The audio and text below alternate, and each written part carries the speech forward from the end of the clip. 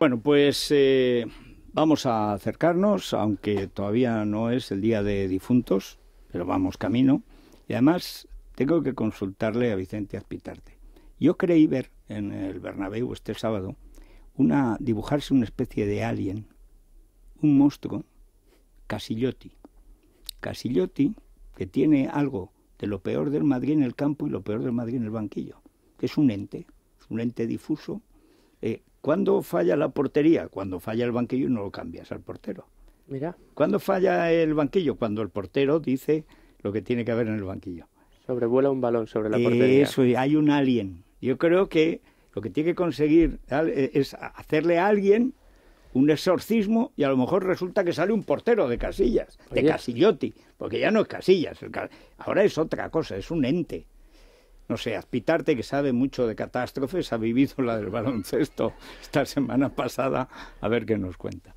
Vicente, tú sabes algo, buenos días. Buenos días, Federico. De ese alien, de ese ente físico, químico, gaseoso, extraño. Yo solo sé que en este momento es un agujero negro en el Real Madrid que se lo come todo y que está impidiendo que el Real Madrid sume.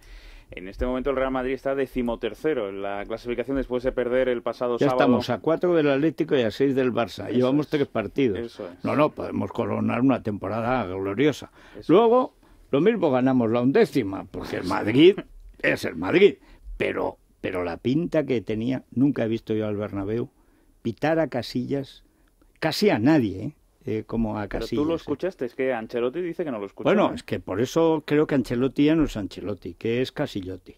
Casillotti, que es un ente, que, que suma las imperfecciones de ambos, es un incubo y un sucubo a la vez nunca el Real Madrid fue capaz de vencer en una liga con este inicio de temporada, así que veremos qué pasa en la liga doméstica. Tú hablabas de la undécima, para la undécima haría falta un equilibrio defensivo que en este momento no tiene el Real Madrid. Bueno, ¿cómo va a tener equilibrio si no tiene defensa? Yo creo que, más que defensa... Ahora, debo decir, frente a lo que dice la canallesca deportiva, que en la primera parte el mejor fue Arbeloa.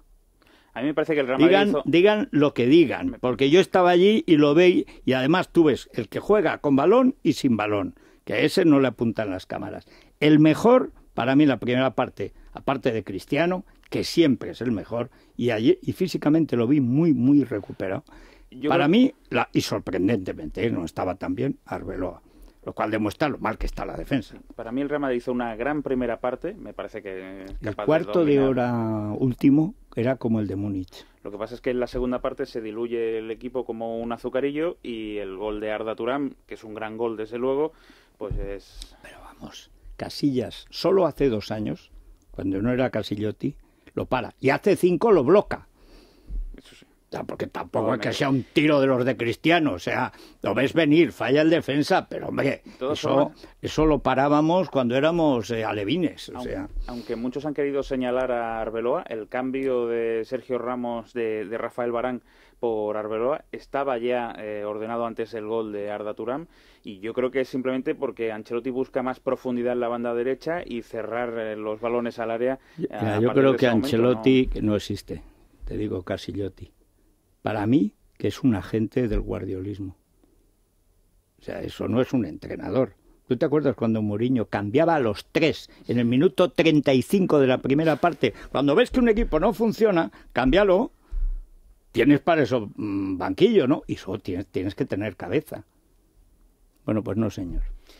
Bueno, el Real Madrid todavía tiene temporada por delante. El Barça es el líder después de vencer en un gran partido al Athletic Club de Bilbao y mañana llega ya la Champions. ¿eh? Mañana juegan tanto el Real Madrid como Atlético de Madrid. apoyando a nuestro club. Mañana a las 20:45 horario Champions, Real Madrid Basilea y Olympiacos Atlético de Madrid, Barça Athletic Club de Bilbao jugarán el el miércoles. El Olympiacos no es, no es el de Michel, ¿verdad? es el de Michel. ¡Hombre, Michel! Ya hay. Aparte, eh, para estas Navidades el banquillo del Madrid puede estar libre. eh, en su ocasión. O sea... Solo déjame apuntarte que este fin de semana hemos visto cómo Contador se alzaba como ganador de la Vuelta Ciclista a España Estados Unidos vencía en el Mundial de España, en el que España naufragó. Pero eso sí, y hay que dejarlo claro, gran organización de esta Copa del Mundo en España. Sí, señor. También ahí eh, Lorengotti Eh, Orengáez, ¿no? Oh, no, no, eh, Orengosque. Es Orengosque, es del bosque, pero todavía Otro más día dijo que Vicente del Bosque también tuvo muchas encuestas en contra después de... Sí, no, y ahora las tiene a favor, no hay más que ver. La diferencia es que del Bosque sus jugadores estaban ya de vuelta y estos estaban todavía en plenitud. ¿eh? Sí, sí, ay señor. Bueno, pues nos vamos a las noticias de cercanía. Gracias, Vicente, te acompaña en el sentimiento. Y, y nada, a partir de las 8, el tiempo, noticias y tertulia.